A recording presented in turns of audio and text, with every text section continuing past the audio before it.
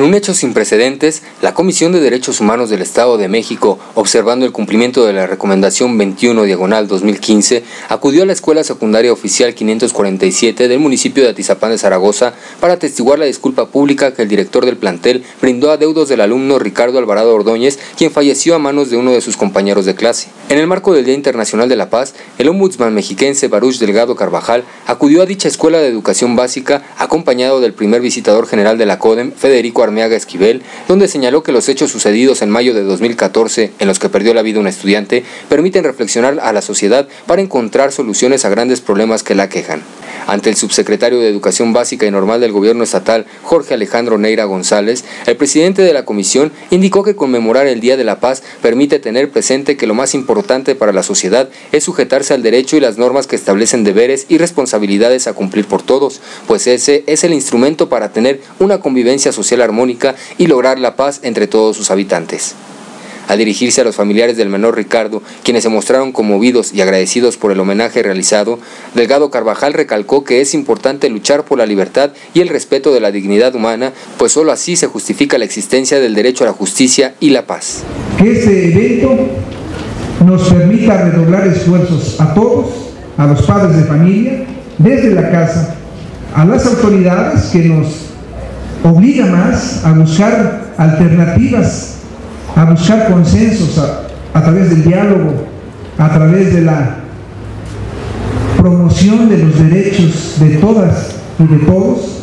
en encontrar las mejores fórmulas para lograr una convivencia pacífica, armónica, que nos permita encontrar las mejores condiciones para desarrollarnos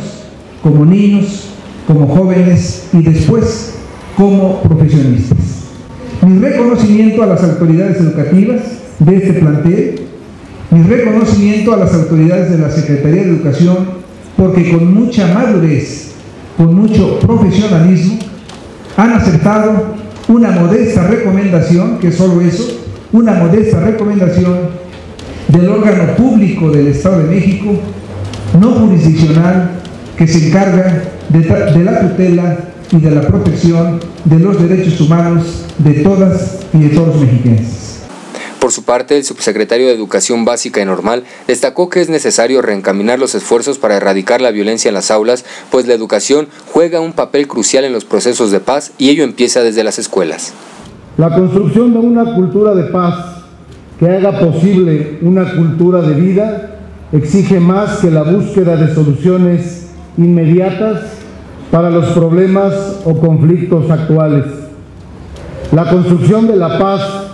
y la gestión pacífica de conflictos son,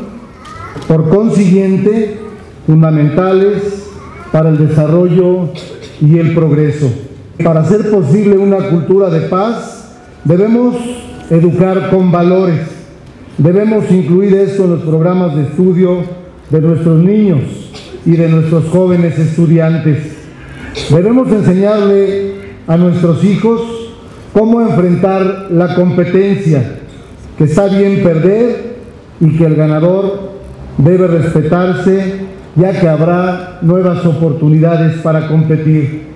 Por último, indicó que se emprendieron acciones específicas y reforzaron algunas otras para evitar que la violencia escolar se arraigue en la entidad, como la implementación del programa de valores por una convivencia escolar armónica con más de 98 mil capacitaciones a docentes, alumnos y padres de familia, así como la impresión de 17 mil ejemplares de la serie de manuales denominados Aprender a convivir con una cultura de la paz. Reportó para Codem TV Cristian Hernández.